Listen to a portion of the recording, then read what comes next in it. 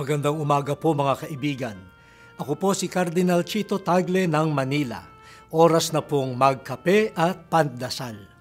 Pagnilayan po natin, darating ang katarungan. Adbyento na po.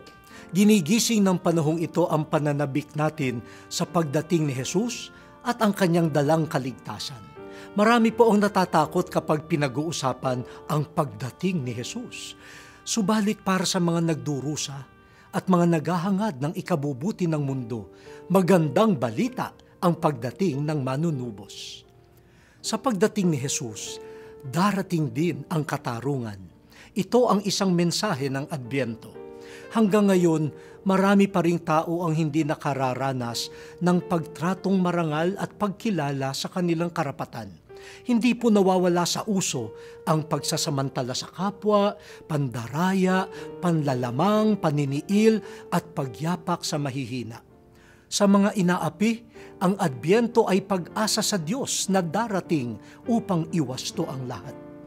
Sa mga nang-aapi, ang Adbyento ay panawagan sa pagbabago at babala na darating ang higit na makapangyarihang Diyos.